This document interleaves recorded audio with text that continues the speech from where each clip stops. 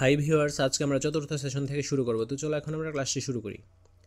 আগের দিন তোমার মতে তোমার বন্ধুরাও নিশ্চয়ই অনেক প্রযুক্তির ধরনের কথা লিখে নিয়ে এসেছে। প্রথমে ছোট ছোট দলে ভাগ হয়ে বাকি সবার কথা শুনে নাও। তুমি কি কি পেয়েছ তাও অন্যদের সাথে আলোচনা করো। দৈনন্দিন জীবনে নানা ক্ষেত্রে প্রযুক্তি ব্যবহার নিয়ে তো অনেক কাজ হলো। কিন্তু প্রযুক্তি কি কেবল আমাদের প্রতিদিনের জীবনের সাথে জড়িত, নাকি অন্যান্য ক্ষেত্রেও এর ব্যবহার রয়েছে? এবার চলো বিজ্ঞানের নানা বিষয় এবং দৈনন্দিন জীবন ছাড়াও অন্যান্য ক্ষেত্রে এর প্রয়োগ অর্থাৎ প্রযুক্তির আরও কী কী উদাহরণ আছে তা দলে কাজ করে খুঁজে বের করা যাক। চলো এখন আমরা এর অ্যান্সারটা দেখে নিই।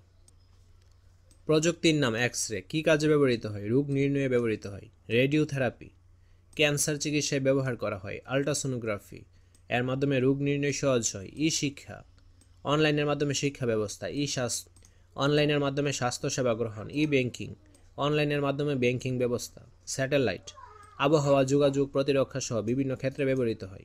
নিউক্লিয়ার বিদ্যুৎ কেন্দ্রে বিদ্যুৎ তৈরি করা হয়। তোমাদের নিজেদের সংগ্রহ করা তথ্য এবং দলের বাকিদের থেকে যত ধরনের প্রযুক্তির কথা আলোচনায় উঠে এলো, সেগুলোকে একসঙ্গে করে একটা তালিকা করে নাও। এবার একটু খুঁটিয়ে দেখো তো, এই যে এত এত প্রযুক্তির কথা বলা হয়েছে, তার মধ্যে কোনগুলো সত্যি সত্যি আমাদের প্রয়োজন, কোনগুলো একেবারেই অপ্রয়োজনীয়? আবার সবগুলো প্রযুক্তি কি মানুষ ভালো কাজে ব্যবহার করে?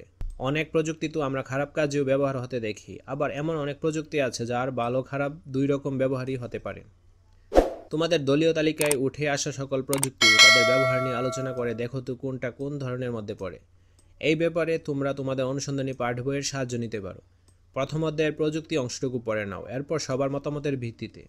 তোমাদের তালিকায় প্রযুক্তিগুলোকে শ্রেণীবদ্ধ করে পাশের পৃষ্ঠার ছক অনুযায়ী। চলো এখন আমরা এর অ্যান্সারটা দেখে নিই। প্রযুক্তির নাম স্মার্টফোন প্রযুক্তিটির বিভিন্ন ব্যবহার, কথা বলা, ছবি দেখা ভিডিও দেখা গেম খেলা ইত্যাদি।